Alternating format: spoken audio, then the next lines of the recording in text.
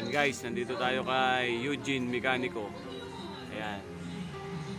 Dito, ayan po, napakarami niyang pasyente. Pero dadalawa silang doktor. Kasama na sa gagamutin tong sasakyan ko. Ito, nag-aantay tayo ng pyesa.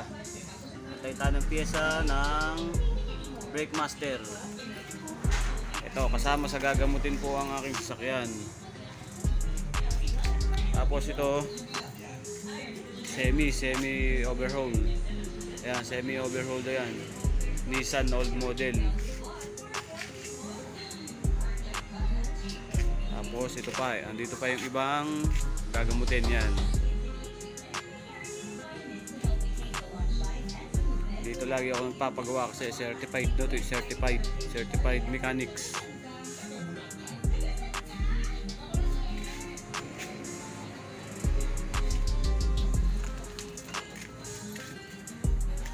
Tapos ang location niya po ay dito sa may Malagasang. Dito sa may bagong highway, Malagasang Market Road. Yung malaking highway sa likod ng Green Gate.